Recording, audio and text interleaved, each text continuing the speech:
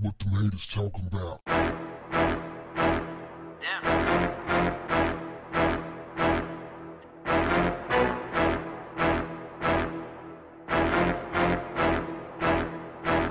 What's up, family?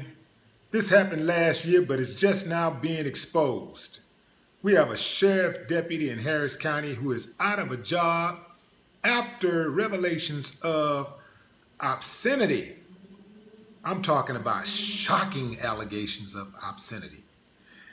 The allegations involve production of obscene material that includes sexual conduct with a dog. Yes, this guy was getting his groove on with a dog. Who is this two-legged animal that dare have sex with a four-legged animal? Well, goes by the name of Andrew Sestada Jr., which means there was one before him. He's a six-year veteran of the force, and he was relieved of duty after his arrest on the state jail felony.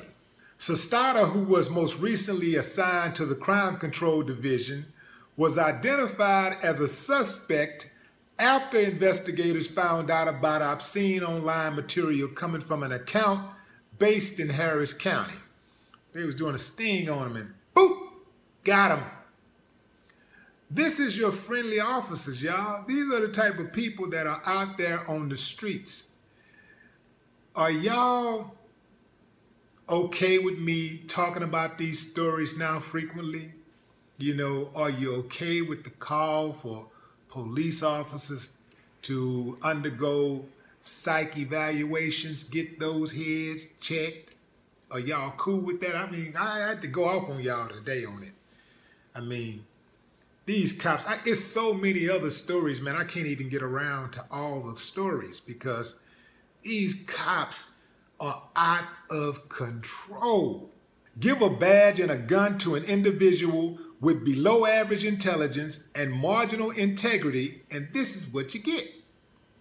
I just wonder how one lives down something like that. Also, remember stories like this if you ever on a jury. Just because someone has a badge doesn't mean they are any more trustworthy than a person without one. I'm done with this. But before I go, I have a couple of questions for you. One, does a wagging tail indicate consent? Take your time. Two, if Fido is below the age of consent, can the charges be upgraded? No more talk.